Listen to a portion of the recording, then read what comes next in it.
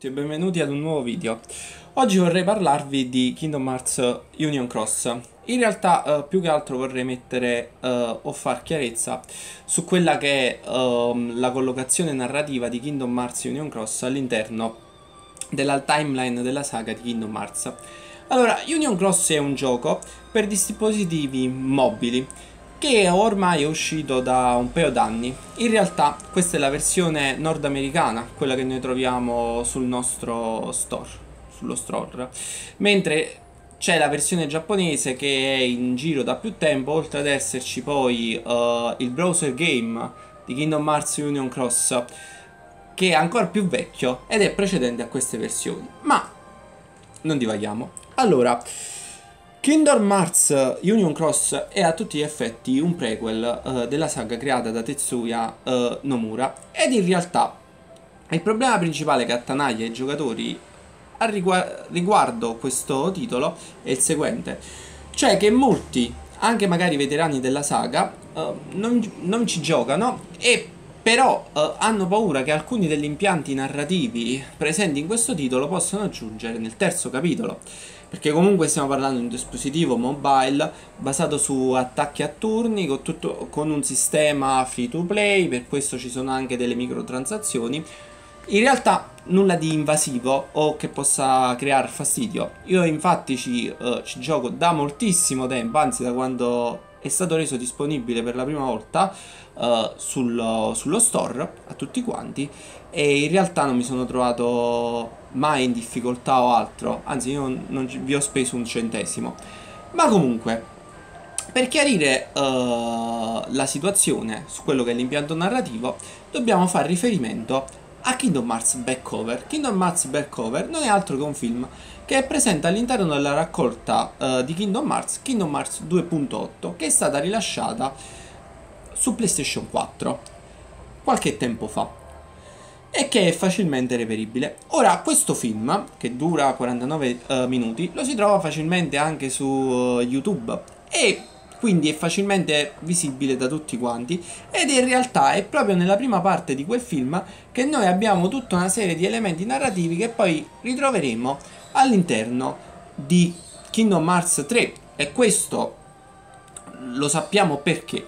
Perché in realtà molti degli elementi che si vedono in quella prima parte vengono accennati nei trailer che abbiamo visto di Kingdom Hearts 3 anzi più che nei trailer nel trailer uh, dove Ade incontra Malefica e Pietro e dove si parla di una fantomatica scatola nera che noi vediamo proprio in questo film poi comunque il gioco è, come ho già detto, dotato di una uh, modalità appunto storia. Modalità storia che uh, se la connessione ce lo permette vi farò, uh, vi farò vedere che che uh, si dipana per tutta una serie di quest sono ben 775 e non sono ancora finite ma in realtà di queste 775 uh, quest. Gli elementi narrativi importanti sono davvero centellinati, cioè si possono contare sulle dita delle mani. E uh, comunque, qual è il punto focale del film? Le Union. Le Union che sono questi clan, possiamo definire a tutti gli effetti clan, dove uh, i, Key, i Keyblade Wielder, cioè i ragazzini, vanno a combattere uh, e in queste union uh, vengono comandati, più che comandati però meglio dire istruiti, che è più corretto, dai, dai master delle gilde. Queste gilde sono volpe, uh, orso, lupo, eh, non lupo, leopardo e unicorno ed infine il serpente.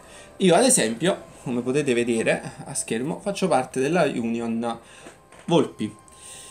Ora, uh, questi capi delle Union fanno a loro volta capo ad un altro soggetto che viene chiamato il Maestro dei Maestri, una figura incappucciata, vestita con gli abiti dell'organizzazione 13, che noi non vedremo mai in viso, è che uh, è colui che consegna uh, a questi capi delle Union, che vengono chiamati Foretellers, il libro delle profezie, dove sono descritte tutta una serie di avvenimenti che avverranno in futuro ovviamente, per questo libro delle profezie, e che porteranno poi alla guerra uh, del, dei Keyblade, come potremo vedere poi in Kingdom Hearts Bird by Sleep, uh, dove una delle location è appunto il cimitero dei Keyblade, che è appunto il luogo dove è avvenuta questa battaglia uh, sanguinaria, dove praticamente sono morti la maggior parte dei membri delle, delle Union.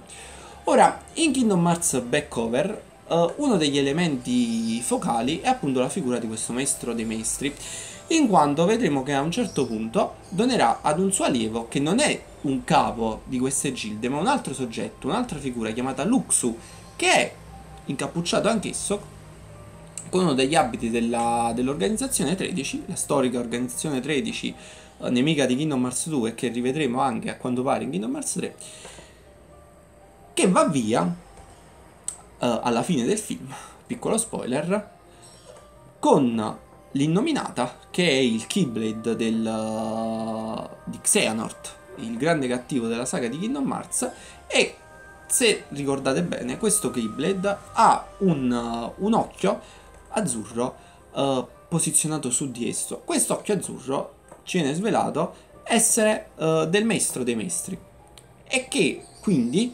plausibilmente anzi certamente è l'occhio che gli permette di guardare nel futuro, anche perché è lo stesso maestro dei maestri che lo, di, uh, che lo dice e lo rivela a Luxu. Quindi in realtà i fatti che sono scritti all'interno del libro non sono altro che uh, le cose viste dal maestro de, uh, dei maestri. E infatti lui è una figura alquanto sopra le righe e particolare e non riusciamo mai a capire quali siano i suoi fini, anzi spesso e volentieri uh, sembra manipolare uh, gli altri al suo piacimento.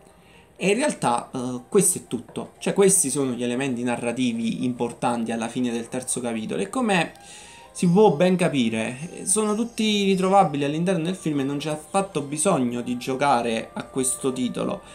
E poi, se si vogliono avere informazioni sulla storia che si vive all'interno del, del titolo in questione, che state vedendo uh, qui modalità storia che possiamo trovare nella parte delle quest, cioè appunto una parte dedicata alla storia di, di Union Cross, non si fa altro che vivere uh, parte dei fatti visti all'interno del film da punto di vista dei, uh, dei, membri della Union per poi andare avanti e si uh, va oltre.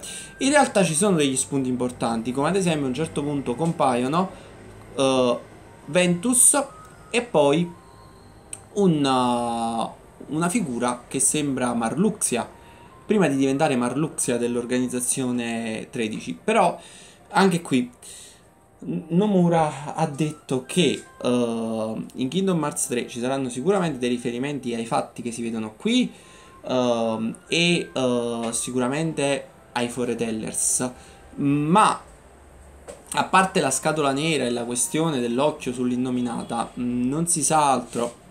Ed in realtà pure quelle cose, poche cose, la comparsa di Ventus oppure di Marluxia, sono facilmente o visibili su YouTube, perché le quest, i filmati delle quest vengono caricati anche perché all'interno del gioco c'è una modalità teatro che permette di vederli senza alcun problema e quindi sono facilmente registrabili, oppure... Uh, ancora eh, leggendo una Wikipedia perché in realtà il materiale è davvero, è davvero poco. Ad esempio queste quest sono delle quest che sono uscite da poco e sono ambientate, come potete leggere qui, ad, uh, ad Agraba. In, uh, in realtà ed è un filler, si vede in pratica si combatte contro Jafar uh, e c'è tutta quella parte di Jasmine che si vede nel film Aladdin, insomma, per cui Jafar la vuole uh, sposare, inventa tutta una serie di, di trucchi per poterlo fare.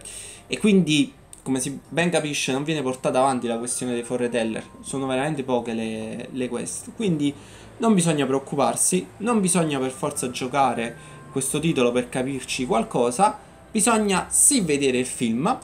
Uh, ma come ho già detto, le parti fondamentali si trovano uh, all'inizio, poi da un certo punto in poi iniziano tutta una serie di discussioni interne alle varie organizzazioni e ai vari leader delle stesse e quindi il, materma- il, materiale è facilmente recuperabile perché il film si trova anche su YouTube, uh, sottotitolato, senza alcun problema, così com'è appunto nella, nella raccolta.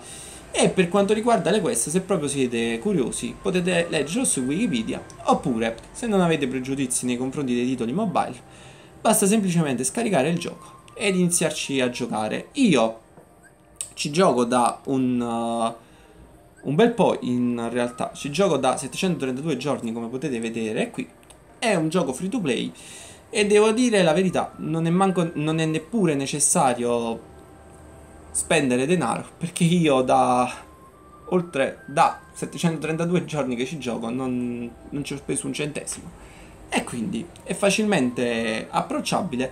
L'unica limitazione per alcuni potrebbe essere il fatto che il gioco è completamente in lingua inglese come potete vedere non è sottotitolato però se riuscite ad andare oltre a questa cosa se oppure non avete problemi con uh, la lingua anglosassone non dovreste avere alcun tipo di problema. Per cui non c'è bisogno di disperarsi, gli elementi narrativi questi sono.